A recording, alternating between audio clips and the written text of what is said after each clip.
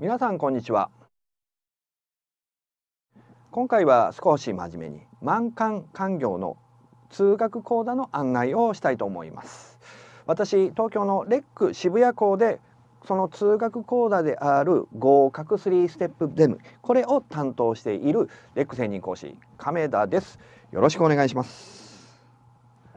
はい、それではですね、まあ、話の中なんですけれどももし、えー、レックの各校で聞いてくださってる方ね、えー、お手元にパンフレットこれをご用意していただければと思います、えー、こちらとなりますかね、えー、1つ目がですね、えー、合格のレックと左端に大きくって管理業務主任者マンション管理士、えー、これの2020年度版の、えー、お題が未来へつなぐマンション管理士へというものね、えー、このパンフレット。でこれは冊子になっていてページが、えー、っと最終ページが、えー、222122まであるやつですかね。それと1枚のペラ紙なんですけれどもオレンジの色のバッグで、えー、これは合格コース通学ゼミプラスというお題でね、えー、管理業務主任者マンション管理士、えー、お題が振ってあってそちらには日程であるとかそれから、まあ、ちょっと料金の方とかねそれから後ろ裏をめくっていただくと具体的なその合格3ステップゼミ、えー、こちらのですね日程などが記載されているものです。まあ、ぜひぜひお手元にね、えー、置いてくださればと思います。でもしもしご自宅などでですねご覧になっている方はこういう形で、えー、あるいはまあちょっと写す時にね、えー、アップして移しますのでまあそのまま聞いてくださっても特に、えー、問題ないかと思いますのでね、えー、まあ約15分程度ですけれどもね私の話を聞いていただければと思いますのでよろしくお願いします。はいはい、そうですね。えっ、ー、と、まあ、今回ちょっとご紹介するのは先ほど言ったような通学のね、えー、コースなんですね。で、こちらのちょっと青バックの表紙、青というかブルーバックの表紙になりますと、ページで言うと4ページからですね、えっ、ー、と、2020年管理業務主任者マンション管理士ダブル合格コース通学ゼミプラスとね、えー、歌っております。で引き続き続いてページをめくっていただいて6ページですかね、えー、こちらには管理業務主任者合格コース、えー、そちらのね、えー、通学ゼミプラス、えー、さらにさらに8ページとなりますかね、えー、今度はマンション管理士なんですがマンション管理士ね、えー、合格コースそれの、まあ、通学ゼミプラスということでねこちらのパンフレットにはご用意しておりますのでね、えー、いずれもちょっとね通学のことなんですね。でもちろん、えー、この管理業務主任者マンション管理士ともですねレックではですね通信の講座をご用意しております。そして私も実際に、えー、合格講座、えー、などなどを担当しておるんですね。で内容に関してはもう非常に、えー、いいものであることを提供しておるんですがそれに、まあ、昔の通信と違って、えー、今の通信はちゃんと画像も、え、動きます、えー、それからパソコンだけじゃなくて今はねスマホなんかでもね、えー、見れるということで、まあ、授業の臨場感というのは非常にね、えーまあ、伝わりやすくということでもちろん時間がない中で聞いてくださる方なんかからね、え、ニーズも多くあります。それから内容もこれは自信を持ってね提供しておるんですがやっぱり中にはいるんですね。えー、通学ないんか通いたいんですその多く、えー、こういうの多くのまあ理由は大体自分あのやっぱり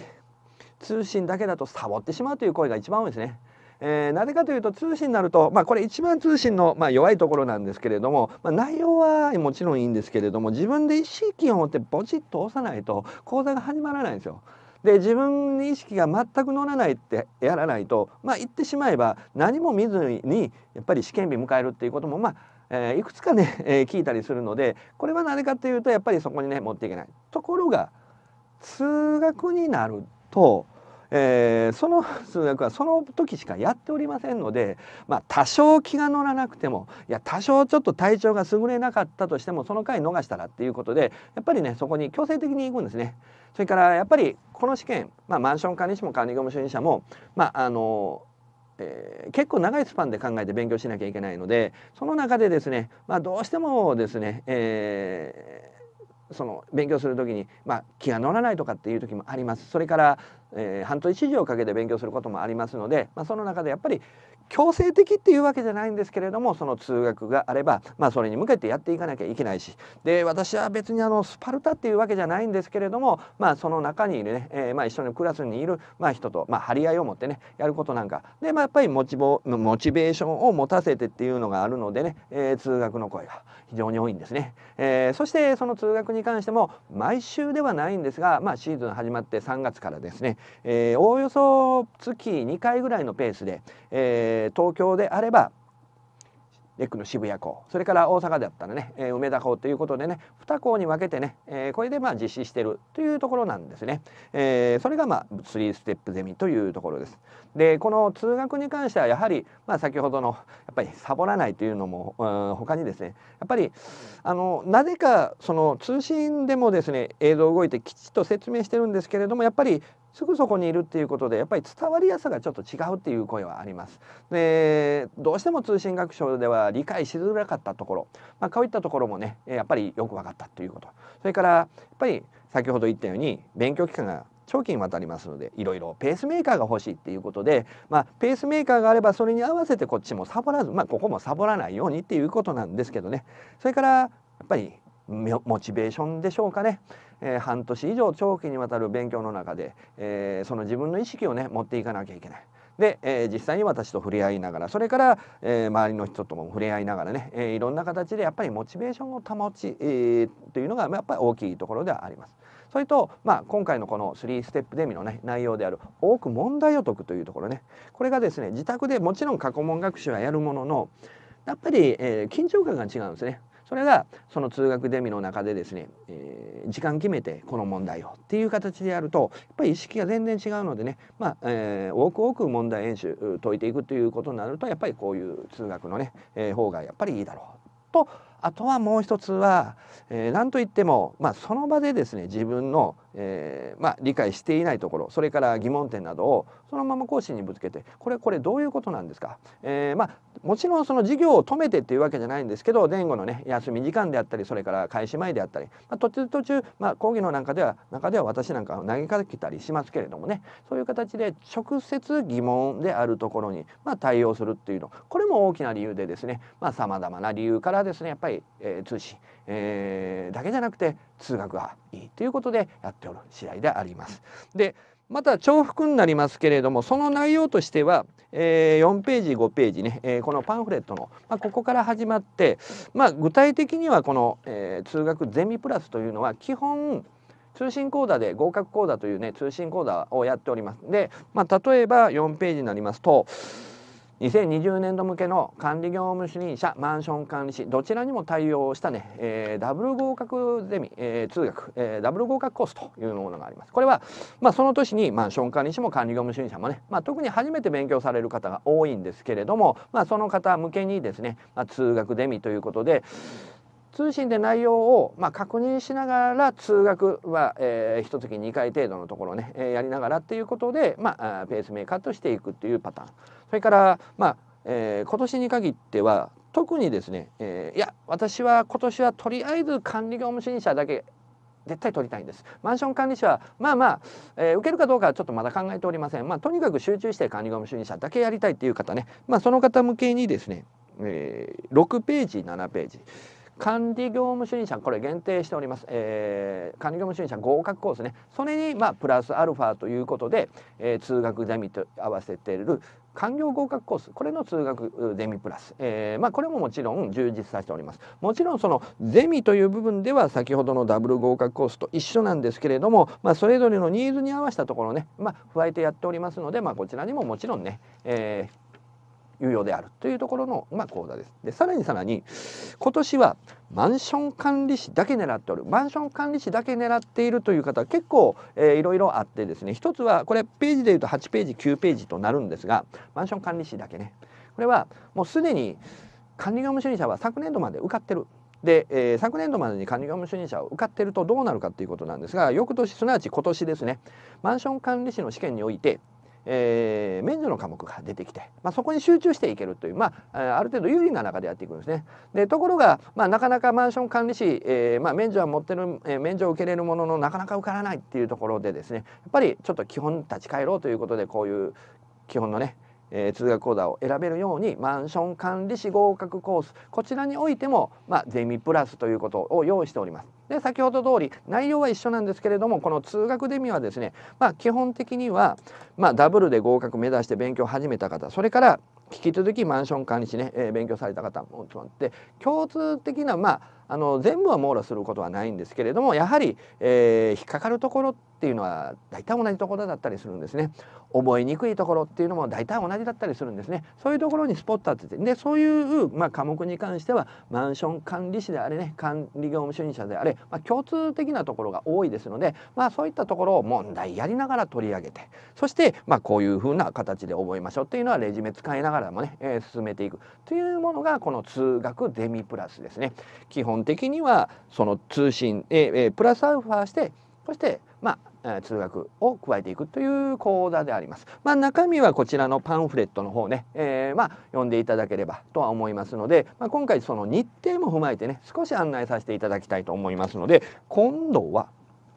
オレンジの方の、えー、合格コース通学ゼミプラスと歌っているところね管理業務主任者マンション管理士ですね。でおおよその、まあ、日程感とするとですね、えー、通信講座が始まってっずっとまあ2月から始まっておりますので、まあ、12月までね本番司会迎える中でこの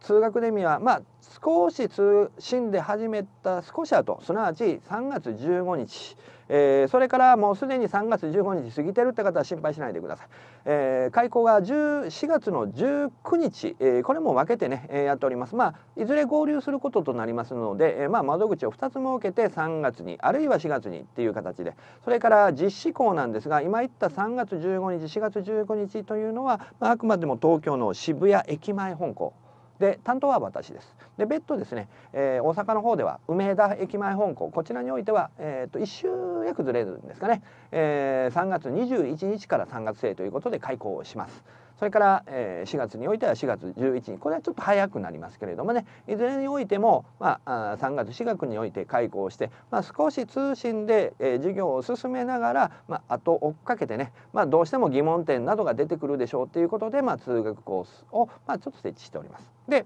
えーまあ、通信講座はご自身のペースマイペースでやっていただければいいんですけれども通学に関してはおおよそまあ、月に2回程度、えー、このパターンでいきますけれども具体的な日程とするとこのオレンジのパンフレット後ろに向けていただいてこれはまあ大阪港、えー、大阪のね梅田港それから渋谷港それぞれね、えー、具体的なまあ日程が載っておりますので参考にしていただければと思います。でこの3ステップゼミはまさしく3ステップゼミで、えー、ホップステップジャンプですかね、えー、最初3月から始めて、まあ、夏の8月まではですね基礎理解編ということで9回に分けて前半、えー、進めていきます。でその後また、えー、と繰り返しになりますけれど今度は実力養成編ということでね、えー、1回2回3回4回5回分けてやっていってこれがいわゆるホップステップのステップ目ですね。そして最後のジャンプは模試ですね。で模試も合わせてホップステップジャンプということでね、えー、3段階に分けてやっぱり問題演習を中心にやっていきます。なぜこの段階を踏んでるかっていうとやはり法律学習っていうのはずっと流してやるよりも繰り返し繰り返し上乗せしていくような形の勉強法がやっぱり定着するのでね、まあ、最初一通りやってそして、まあ、さらに上乗りっていう形でホップステップジャンプという形でやっております。中身なんですが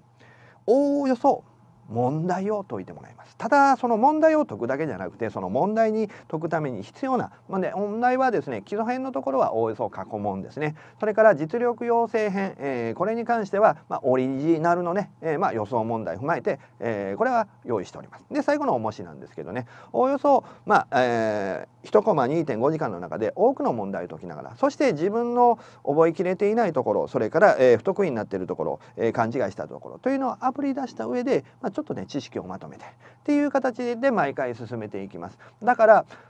最初から聞いたっていうのはきついかも思います。まあ、ところで、えー、通信講座で、えー、ある程度ね、えー、基礎えー、のところを掴んでおくと、まあ、やっぱり有用でありますのでね、えー、合わせて、えー、これはねお互いに、まあ、相乗効果を生みながら進めていくっていうのが主な狙いこれが合格3ステップデミですのでね、まあ、ぜひぜひ検討いただければと思います。はい、でですねもう一度開講日に戻りますと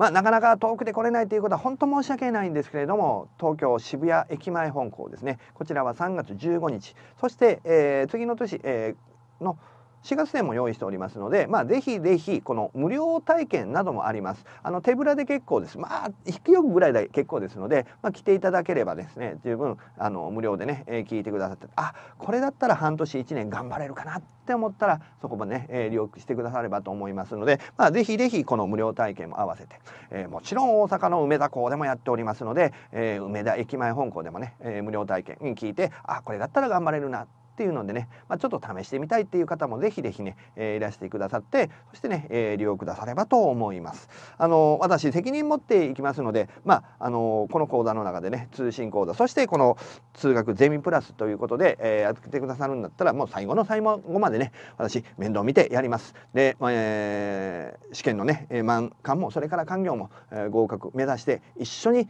え、最後の最後まで頑張れるようにね、えやっていきますので、是非是非今年の合格ね、え、一緒に掴んでいただければと思いますのでよろしくお願いします。はい、では私の方からのお話ですが以上とさせていただきます。お疲れ様でした。